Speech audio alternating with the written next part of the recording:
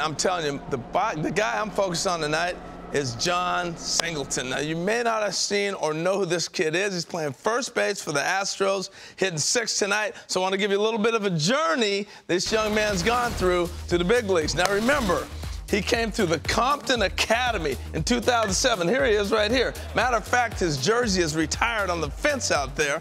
Here he is in 2009. He got drafted by the Phillies, got traded to the Astros in the Hunter Pence deal in 2011. 14, he signs that five-year contract. Remember when the Astros were throwing those out there? He took his wise young man. All right, then he homers his 13 home runs that year in 2014. He ends up getting released by the Astros, and then he wanders, tries to figure out how I get back. He goes to Mexico. He works his way back through, gets picked up by the Brewers. And the next thing you know, he goes and works out with the Brewers. He signs in December. He gets promoted to the big leagues, plays 11 games. Next thing you know, he's still trying to figure his way. The Astros get him back.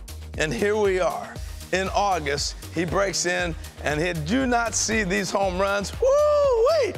He lit up a couple homers in Houston, the big bomb, the big bash. And I, I was watching him. I'm like, who does this remind me of? That swing. I've seen that before. Now, I played 10 years in Seattle, and the furthest ball I ever saw hit there was a guy named Willie Mays Aikens. And I, I went, oh, this reminds me of Willie Mays Aikens. And so as I watch this swing Willie Mays Aikens, boom, Tell me that doesn't look like Jon Singleton. All right, boom, and the bat flip. When you know you got one, you hit a long ways, you can do that. So when he hit this second one the other night, he did that. Oh, let me see that again. He did that. Oh man, that is true, true power. I'm so excited to talk with him. So Jonathan is joining us right now. Jon, how you doing, man? Doing great, doing great. Glad to be here. So uh, did you like that uh, Willie Mays Aikens backflip swing right there? I did, I did. I did enjoy that quite a bit. Yeah, you got that second one. What was that like to hit two home runs in the game when you finally got an opportunity to get back to the big leagues and play? Uh, definitely a phenomenal feeling. You know, it's been a long journey, a long road for me. You know, I'm, uh, I'm grateful and thankful for this opportunity, for sure. So you couldn't be playing for a better manager. I mean, Dusty Baker is like the coolest ever, and he understands your, your battle, your story to get back. When he finally got a chance to sit down with you and say, here's what we're going to do with you, what was that conversation and how did you feel about that?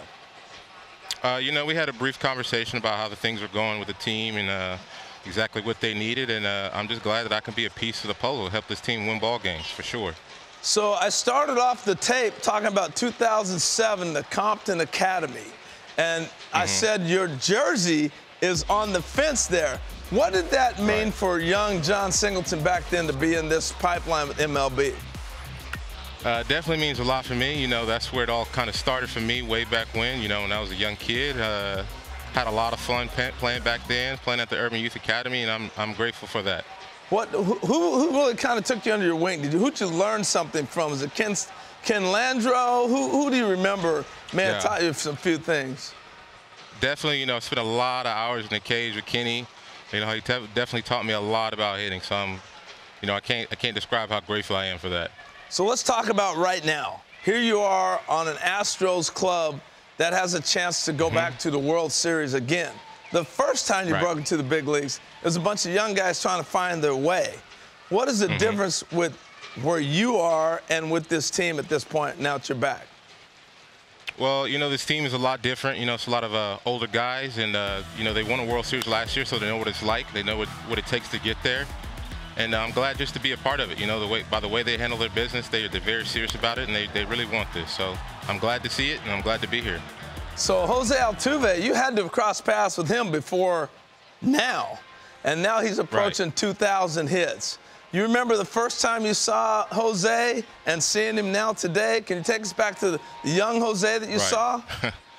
yeah, uh, not much has changed with Jose. You know, he's still the great second baseman, great hitter, uh, you know, great attitude, great uh, locker room guy. So I, am just grateful to, to be here when he gets to, you know, that uh, that monument. So, I mean, what can I say? He's a he's a he's a great person and a class act.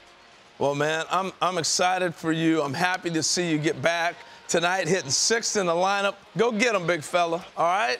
No doubt. No doubt. All right. Thank you, Jon. Appreciate you. Adnan, over to you. Thank you. Appreciate it.